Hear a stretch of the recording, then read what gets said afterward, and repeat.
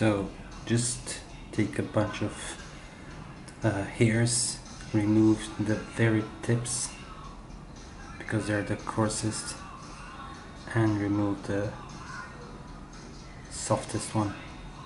You can keep this for dubbing later for some other flies. Uh, hello everyone.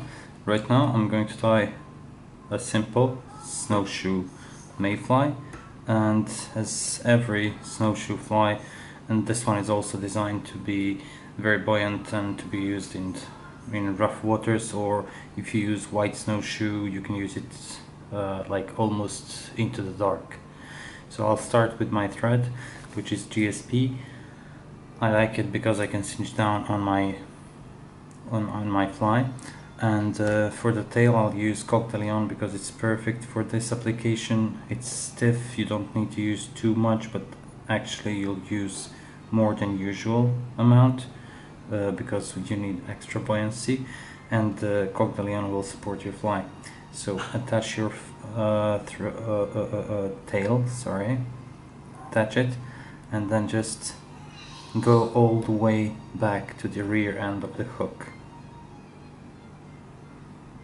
Now you can just go a little bit into the bend and later it will go under it or you can do it now so you will actually fan out those tails. Now you can create an underbody to taper everything prior to tying and that's what I'm going to do right now so just a couple of wraps back and forth until you get this desired underbody here. So before I continue, like I just need to tell you, like previously I tied a couple of flies and these are leftovers, so let me show you how to reuse this material. It's not super fine, but it's not coarse as well. So just attach it to your thread, make sure it's like going around the thread, use as little as possible and as you advance down the dubbing noodle you should use less and less material so your noodle will be tapered as well. Uh, when you have enough or almost enough just go towards the rear end of the hook and cover the body. As you can see everything is nicely tapered already. And this will actually be even more nice when I go back with my thread which I will use for ribbing. Now you can see that this dubbing noodle is very thin. And this below it it's even thinner. And this is for the tail part. And right now I'm finishing to fly maybe I can use everything. Maybe yeah. Okay now go with the thread. Rib everything. You'll get these segments but they are not so important. Okay. Now to attach wings because this is relatively large size 12 mayfly I'm not going to use these short hairs here. I'm going to use these hairs from here. So middle portion of the middle portion of the foot.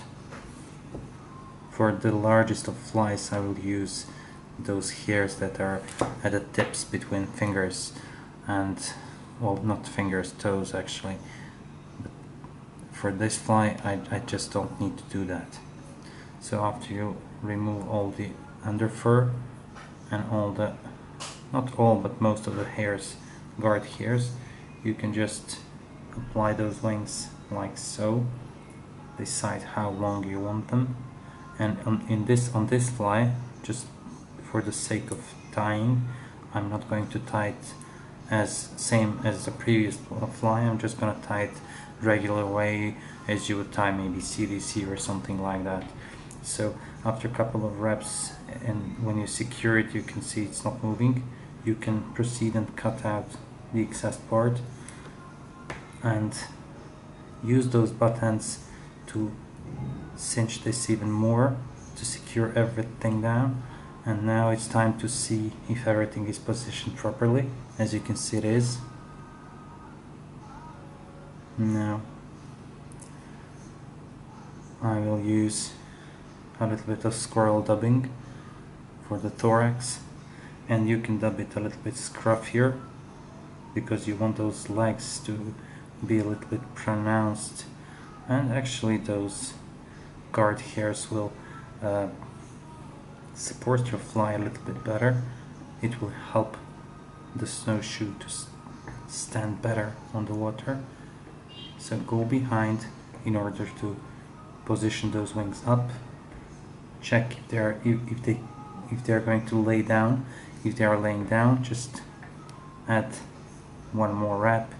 And then when you're satisfied just continue wrapping towards the front now you can add some legs maybe some soft hackle if you like. Not necessary because that's extra step. It will add movement though but it's not necessary as I said because you're using this in very very rough water I hope. So it's not important to have everything done perfectly. So you should whip finish once or twice. It's up to you I like to do it twice and then cut everything off.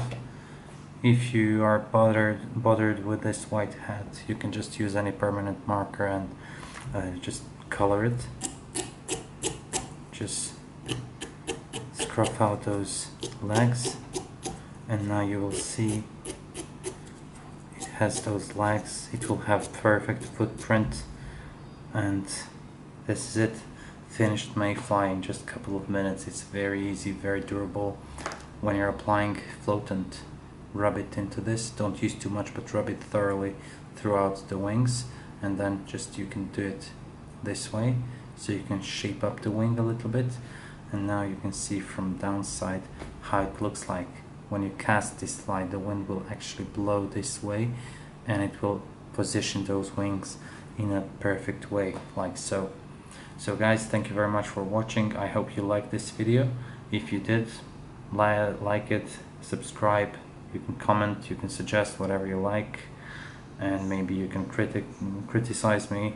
That's the way how I can improve. So thank you very much again and see you next time